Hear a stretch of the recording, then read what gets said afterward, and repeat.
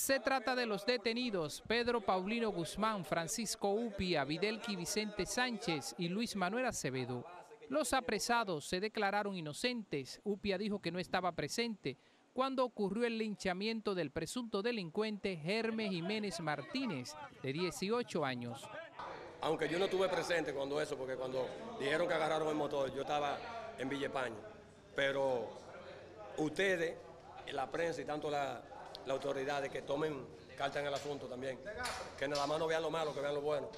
Acevedo dijo que no participó en el horrendo acto de linchamiento y que fue despojado del motor por la víctima antes de que fuera ultimado y que transportaba dos niñas, una de ellas su sobrina, a un centro escolar.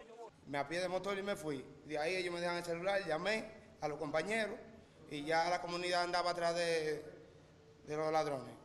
En el conocimiento de la medida de coerción fueron representados por la abogada de oficio que rehusó expresarse sobre el expediente, pero el Ministerio Público en la persona de Danilo Holguín habló de que tienen pruebas contra los detenidos.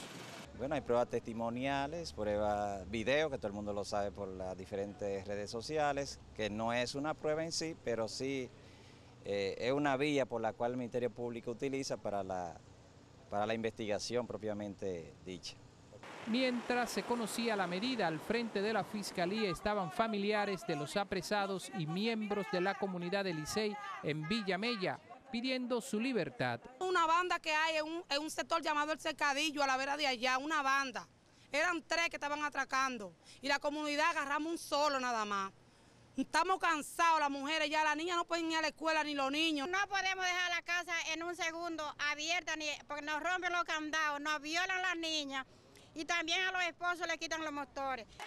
Ernesto Trinidad, uno más uno.